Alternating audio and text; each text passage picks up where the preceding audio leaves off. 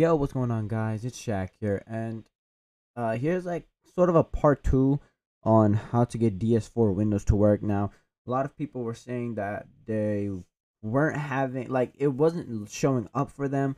So here's a part two, basically on how like to make sure it works. So make sure you download it. I also heard that the current version uh doesn't work for some people. I tried it out and it wasn't working for me. So uh, you could go down to older versions uh if I head on to my DS4 Windows, let me eject my controller so it's so nothing shows up.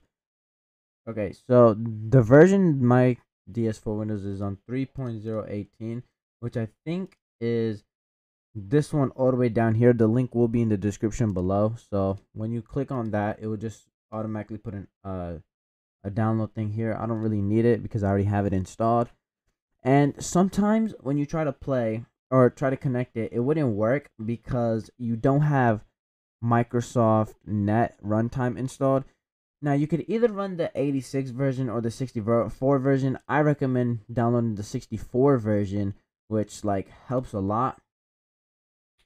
Uh, I don't I don't know I don't know what's the difference, but like when you run 64 compared to 86, from what I've seen, is that 64 is better. You could try either. I just had more like better experience with the X64 than X86. Now, if I connect it in, also make sure your connection works. I have a second wire that can't connect uh, that connects to the thing, but the wire is messed up, so it doesn't really read the PlayStation controller. Now, I just connected my controller in. As you can see, it's 100% battery. It's called DualSense. Uh, let's go to edit profile.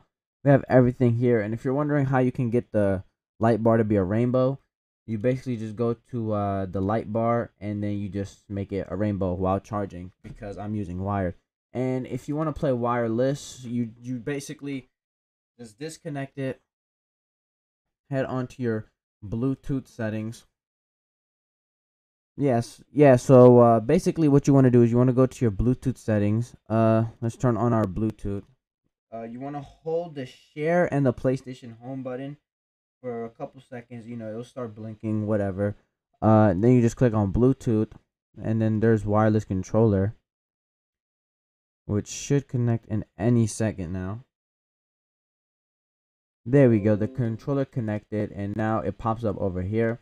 Uh, cool thing about Bluetooth or not, the the the input delay still stays like super low. You know, I'm moving the controller. the The red one is um the gyro and then the left stick and then you have the right stick as well. So yeah here's a cool little tutorial. If you guys enjoyed the video leave a like subscribe comment if you haven't already and peace out. Tell me if it works as well